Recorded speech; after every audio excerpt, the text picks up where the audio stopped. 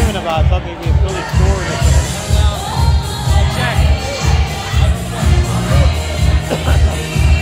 Something happened? we got it though. It's, if, if we lose, we lose. It ain't gonna hurt. Oh, you got money on it? Never bet on the Eagles. Never bet for or against them.